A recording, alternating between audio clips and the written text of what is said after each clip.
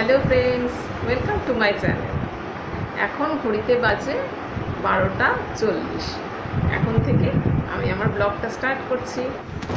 আর আরেকটা কথা তোমাদের বলি, আমার এই চ্যানেলটি যদি তোমাদের ভালো লেগে থাকে প্লিজ প্লিজ প্লিজ তোমরা সাবস্ক্রাইব করো আর সঙ্গে বেল বাটনটিকেও প্রেস করো, তাহলে আমার সমস্ত ভিডিও আপলোড হওয়ার সাথে সাথে পৌঁছে যাবে তোমাদের কাছে।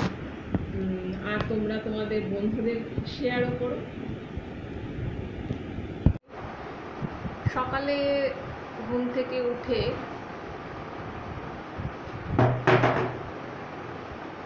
আজকে উঠেছি পৌনে সাতটা।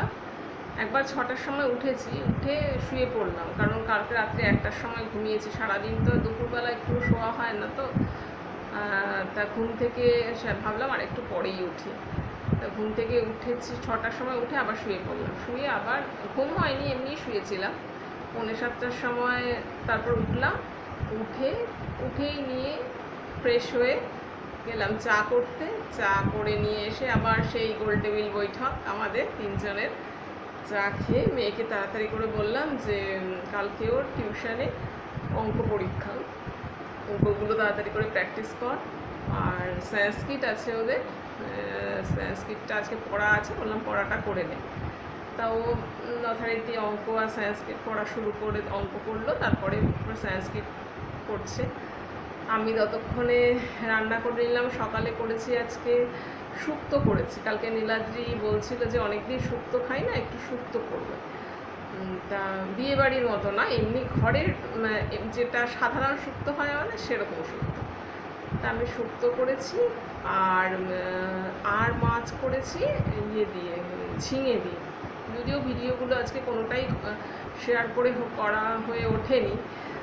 কারণ আজকে করার মতো মনটাও অতটা ভালো নেই। কারণ কালকে মেয়ের একটা চোখের এই, ঠিক এই জায়গাটাতে স্নান করার সময় কলের বাড়ি খেয়েছে। মানে শ্যাম্পু করছিল আর মাথাটা নিচু করে ওপরে ওঠাতে গেছে, কলের বাড়িটা এখানে খেয়েছে। তাই চোখটাকে এরকম নিচু করতে পারছে না। তাই মনটা অতটা ভালো নেই। মাথাটা ব্যথা করে উঠছে বারে মাঝে মাঝেই। দেখি আজকের, এমনি দিয়েছি, ঠান্ডা জল টল, বরফ টরফগুলো দিয়েছি।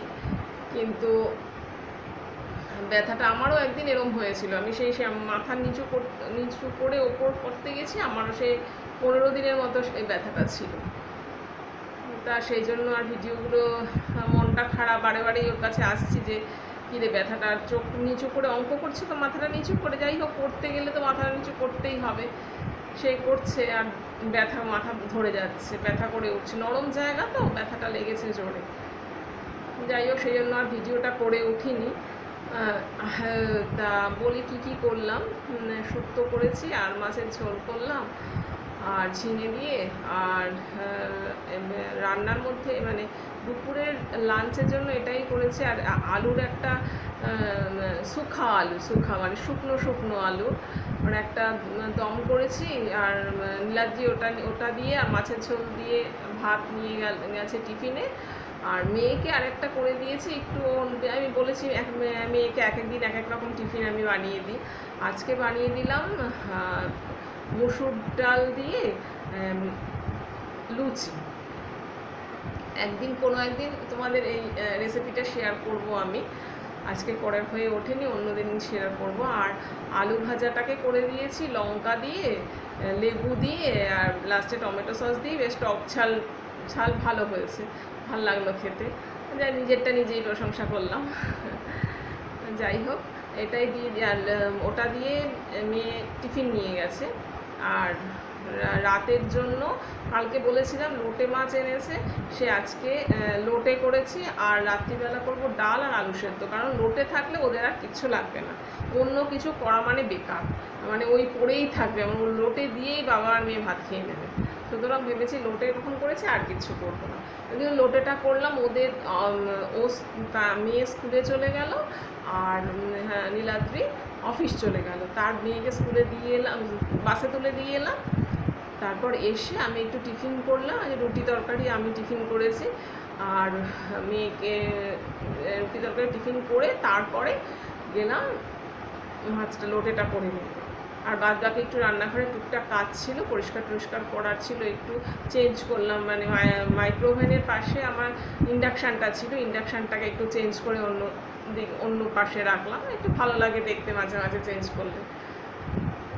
এগুলো করলাম, ভেবেছিলাম আজকে ফ্রিজটা পরিষ্কার করব, কিন্তু ফ্রিজটা পরিষ্কার করা আজকে হয়ে উঠল না আর। অনেক দেরি হয়ে গেল। আর এখন গরমের মধ্যে আমার ওই সারাক্ষণ রান্নাঘরে থাকতে ইচ্ছে করে না। সর্বক্ষণই রান্নাঘরের মধ্যে পড়েই থাকব। দূর আমার অত ভালো লাগে না। রান্না করতে ভালো লাগে, কিন্তু সর্বক্ষণ রান্নাঘরে একদম ভালো লাগে না। নিজের জন্য তো সময় দিতে হবে, তোমাদের সঙ্গে গল্প করতে হবে। যাই হোক এই করলাম। মেয়েটার জন্য চিন্তা, আমার এক বন্ধু আছে মেয়ের, মেয়ে, আমার মেয়ে মানে মেয়ের সঙ্গে পড়ে মেয়েটি, ওর মা আমার খুব বন্ধু। সে ও প্রতিদিনই যায় মেয়েকে স্কুলে দিতে। ওকে বললাম একটু কেমন থাকে, একটু খবর দিতে। ও বলেছে, ও দেবে, ও সবসময় খেয়াল রাখে। আর একটু পরে আবার ফোন করব। যাই হোক মেয়ের জন্য একটু চিন্তা হচ্ছে। আর আজকে এই করলাম সকাল থেকে এতটা, এতক্ষণ তারপরে এই সব করে রান্নাঘরের কাজ টাজ করে নিয়ে স্নান করে এলাম। স্নান করে এসে আজকে আর কোনো মানে রান্নার রেসিপি তোমাদের সাথে শেয়ার করলাম না। তবে একটা জিনিস ভাবলাম যে তোমাদের সাথে আজকে একটা আরেকটা ভালো জিনিস শেয়ার করি। আমি কটা রান্নার টিপস দিচ্ছি তোমাদের। হয়তো অনেকেরই কাজে লাগবে হয়তো অনেকেই জানো, আমার থেকে অনেকেই অনেক এক্সপিরিয়েন্স আছো। আবার অনেকে আছে না, নতুন গৃহিণী তারা রান্নাঘরে প্রবেশ নতুন তাদের। তাদের জন্য হয়তো কাজে লাগতেও পারে। তাই ভেবে ভাবলাম কটা টিপস আমি দিই যদি কারোর কাজে লাগে। আর তোমাদেরও বলছি, তোম- তোমাদেরও যদি রান্নার কিছু টিপস জানা থাকে, আমার কমেন্ট বক্সে দিও। আমি তোমাদের নাম সহ সেটি কোনো একটি এপিসোডে কোনো একটি পর্বে আমি তোমাদের নাম সহ সেটি বলব। যেটি সবার, আমার যেমন উপকার হবে, তেমনি অনেকেরই উপকার হবে। তাহলে আজকে টিপসগুলো দিই।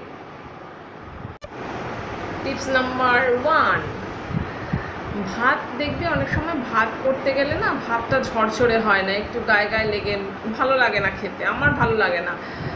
আমার মেয়ের আবার একটু নরম ভাত ভালো লাগে, নীলাদ্রির একটু নরম ভাত ভালো লাগে, আমার আবার ঝরঝরে ভাত না হলে ভাত খেতে ইচ্ছে করে না।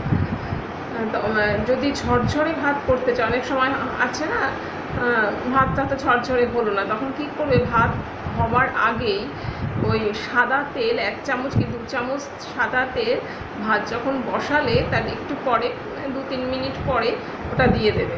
তাহলে দেখবে ভাতগুলো অনেক ঝরঝরে হবে আর লেগে যাবে না একটার সাথে একটা। টিপস নাম্বার টু, মাংস রান্না করার সময় আমরা অনেক সময় কি করি, প্রথমেই লবণটা দিয়ে দিই। কিন্তু মাংস রান্না করার সময় কিন্তু প্রথমে লবণটা না দিয়ে তুমি মাছ তোমরা কি করবে? মাছে মানে অর্ধেক হয়ে গেছে মাংসটা, তখন লবণটা দেবে। টেস্ট অনুযায়ী লবণটা দিলে তারপর দেখবে লবণের পরিমাণটা ঠিকঠাক হবে। এখন মাঝখানে তুমি তোমার পরিমাণ মতোই দেবে, কিন্তু প্রথমেই দিয়ে দেবে না। মাঝে দেবে, দেখবে পরিমাণটা ঠিকঠাক থাকবে।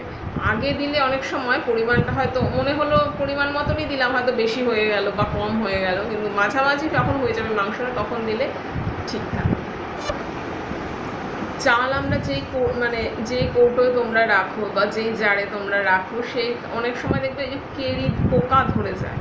ওটার থেকে মুক্তি পেতে নিম পাতা, নিম পাতাকে একটু শুকনো করে ইয়ের মধ্যে, চালের মধ্যে রেখে দেবে।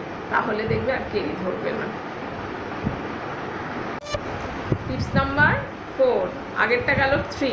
এটা হচ্ছে ফোর। মশলার কৌটোতে না ওই শুকনো লঙ্কা আছে, শুকনো লঙ্কা, লঙ্কাকে রেখে দেবে। মাঝখানে ভেঙে ছিঁড়িয়েও রাখতে পারো বা এমনিও রাখতে পারো। দেখবে মশলা কিন্তু অনেক দিন ভালো থাকে। আর যেই অনেক সময় একই রঙের কৌটো মানে কৌটোর ওপরেরগুলো আমরা একই রঙের কৌটো দেখতে ভালো দেখে কিনে রাখি, কিন্তু রেখে দিই তখন, যখন রান্না করি, তখন অসুবিধে হয়ে যায়। তাড়াতাড়ির সময় কোনটা জিরে, কোনটা ধনে, এগুলো দেখতে বা অন্য সব দেখতে অসুবিধে হয়ে যায়। আমরা যদি কৌটোর গায়ে নাম লিখে রেখে ধনে গুঁড়ো, জিরে গুঁড়ো, গোলমরিচ গুঁড়ো লিখে রাখি, তাহলে দরকারের সময় কিন্তু খুব তাড়াতাড়ি খুঁজে পাওয়া যাবে। আর যেটা বললাম, শুকনো লঙ্কাকে ছিঁড়ে মাঝখান দিয়ে ভেঙে ছিঁড়ে না সরি ভেঙে ওই মশলার কৌটোতে রেখে দেবে। তাহলে দেখবে অনেক দিন মশলা ভালো থাকবে। টিপস নাম্বার ফাইভ অনেক সময় রান্না করতে গেলে দেখবে নিচে অনেকটা, অনেক সময় লেগে যায়, পুড়ে যায় অনেকটা। এবার ওই পোড়া দাগকে ঘষে ঘষে তোলা খুব মুশকিল। তখন কি করবে? যেই তরকারিটা বা যা পুড়ে গেছে সেগুলো তো অন্য পাত্রে রেখেই দিলে। নি- ওই ওটাকে ঘষে ঘষে যেই পাত্রটার মধ্যে করেছ সেটাকে ঘষে ঘষে তুলবে কি করে? ওটার মধ্যে অত বেশি খাটনির দরকার নেই। ওটার মধ্যে লবণ আর জল দিলে, দিয়ে এবার কিছুক্ষণ গ্যাসে বসিয়ে রাখলে, কিছুক্ষণ ফুটতে দিলে, ফুটতে দিলেই দেখবে আলগা হয়ে ওই পোড়াটা উঠে আসছে, তারপর নর্মাল মেজে নেবে। রসুনের কোয়া এটা হচ্ছে টিপস নাম্বার সিক্স রসুনের কোয়া ছাড়াতে আমার তো এই টিপসটা যেদিন থেকে আমি জেনেছি, সেদিন থেকে আমার কোনো অসুবিধা হয় না, কিন্তু আগে খুব অসুবিধে হতো। এখন আমি কি করি? রসুনের কোয়া যখন ছাড়াবো, তার আগেই কি করি? রসুনের কোয়ার ওই গায়ের তেল মেখে নিই। তেল মেখে ওটাকে রোদে শুকোতে দিই। তারপরে রসুনের কোয়া ছাড়িয়ে নিই। খুব সহজেই কিন্তু ছাড়ানো যায়। Tips number seven. ফ্রিজের থেকে অনেক সময় দেখবে একটা গন্ধ আসে। অনেক সময় আমাদের অনেক হয়ে ওঠে না। যেমন এবার আমি প্রত্যেক মাসে একবার করে ফ্রিজ পরিষ্কার করি। কিন্তু এটা, এবারই আমার এক মাস, সাত, আট দিন হয়ে গেল। ফ্রিজটা আমার পরিষ্কার করা হয়নি। এরকম অবস্থা যদি কখনো হয়, ফ্রিজ থেকে হয়তো একটু গন্ধ আসছে যখন একটা পাতি লেবুকে কেটে কেটে টুকরো টুকরো করে এমনি ফ্রিজের ভেতর রেখে দেবে। দেখবে ফ্রিজের থেকে যদি কোনো একটা গন্ধ আসে, সেই গন্ধটাকে আসবে না। বেশ ভালো থাকবে। আমি তাই করি। কখনো কখনো কোনো সময় যদি মনে হয় একটু গন্ধ আসে, আমি সব কোনো সময় না, আমি সব সময়ের জন্যই পাতি লেবুকে কেটে, যদিও কোনো স্মেল আসে না, তবুও আমি রেখে দিই। যদি কখনো আস- আসে হয়তো রেখে দিই। ওই পাতি লেবুকে টুকরো টুকরো করে কেটে রেখে দিই। কোনো ফ্রিজের থেকে কোনো গন্ধ বেরোবে না। Tips number eight. এই অনেক সময় দেখবি চা খাওয়ার পর না ওটার মধ্যে একটা বাদামি রং কীরকম একটা বাদামি রং হয়ে যায় অনেক সময়। ওটাকে তোমরা যদি লবণ দিয়ে একটু ডলে দাও, তারপর যদি যেটা দিয়ে তোমরা ভিমবার বা যা তোমরা ইউজ করো, সেটা দিয়ে ডলে দাও, দেখবে বাদামি রংটা কিন্তু উঠে যাবে। টিপস নাম্বার নাইন সেদিন আমি ছোলার ডাল রান্না করতে গেছি। তা ছোলার ডালটা তো বেশ ভালো মতন করে রসিয়ে বসিয়ে রান্না করেছি। কিন্তু লাস্টে যখন টেস্টটা করতে গেছি, লবণটা ঠিক আছে কি না ওরে বাবা! লবণ বোধহয় দুবারই দিয়ে ফেলেছি। কি মাথায় হাত, কি করব? ফ্রিজটা খুলে দেখলাম, দুটো আলু সেদ্ধ করা রয়েছে। তখন ভাবলাম যে এই দুটো আলুকে যদি দিয়ে দিই, তখন আলুগুলোকে ম্যাশ করলাম, ম্যাশ করে নিয়ে ভালো করে ম্যাশ করলাম। করে নিয়ে ওই ছোলার ডালের মধ্যে আমি দিয়ে দিলাম। দিয়ে কিছুক্ষণ ভালো করে ফুটিয়ে নিয়েছি। ফোটাতে হবে, কিছুক্ষণ ফুটিয়ে নিয়েছি। তারপরে দেখলাম লবণটাও কমে গেছে আর টেস্টটাও কিন্তু অসাধারণ লাগছে খেতে। পেঁয়াজ কাটার সময় একটা মানে এই সমস্যার সমা মানে সমস্যায় হয়তো তোমরা সবাই পড়েছো। মানে ফ্যান চলছে ওপরে, পেঁয়াজটা কাট কাটলাম। পেঁয়াজের খোসাগুলো একদম চারদিকে সব ছড়িয়ে গেল। মানে তখন ওই পেঁয়াজের খোসার পিছন পিছন পিছন পিছন ছোট। এখন আমি কি করি? একটা বাটি নিই, বাটির মধ্যে জল নিই।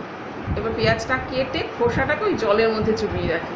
ব্যাস, তাহলে পেঁয়া- পেঁয়াজের খোসা চলে যাওয়ার কোনো সম্ভাবনা নেই। তাহলে কেমন লাগল আজকে আমার এই টিপস? জানি অনেকেই হয়তো এই টিপসগুলো জানো। প্রথমেই বললাম, অনেকেই হয়তো জানো না। আর যারা আরও টিপস জানো, আমার কমেন্ট বক্সে প্লিজ তোমরা তোমাদের টিপসগুলো শেয়ার করো। তাহলে আজকের এই টিপসের সাথে সাথে আমার ব্লগ আমি শেষ করলাম। টাটা।